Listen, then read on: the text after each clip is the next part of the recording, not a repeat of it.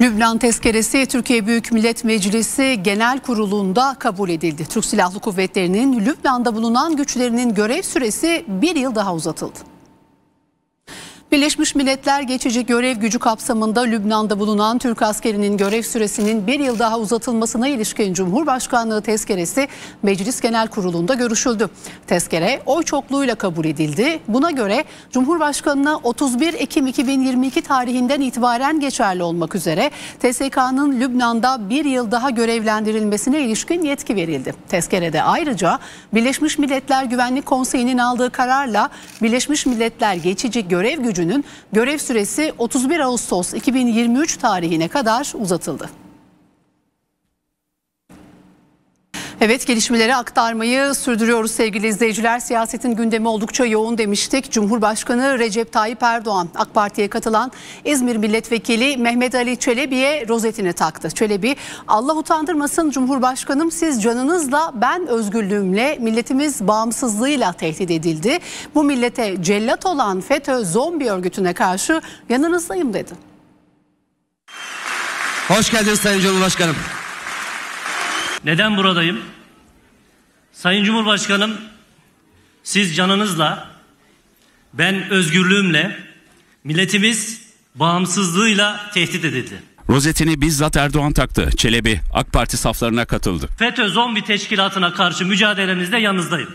Cumhuriyet Halk Partisi'nden milletvekili seçildikten sonra istifa edip Memleket Partisi'ne geçen bir süre sonra oradan da istifa eden Mehmet Ali Çelebi, Cumhurbaşkanı Erdoğan'ın çağrısı sonrası AK Parti'ye katıldı. Çelebi AK Parti grubunda böyle karşılandı. AK Partililer Mehmet Ali Çelebi'ye hoş geldin dedi. Çelebi'nin rozetini bizzat Erdoğan taktı. Ardından Çelebi'nin eşini kürsüye çağırdı. İkisinin de elini havaya kaldırdı.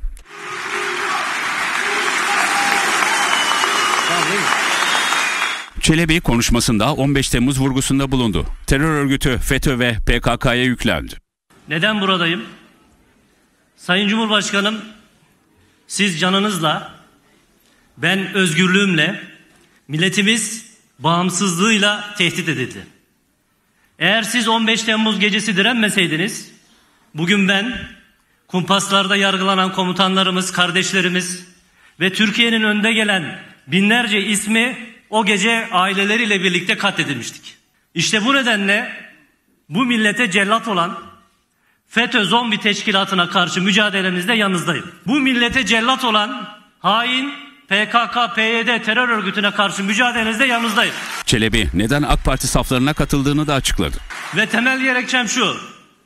Türkiye Cumhuriyeti Devleti Kurtuluş Savaşı'ndan sonraki en ciddi ve çok cepheli bir egemenlik mücadelesi vermektedir.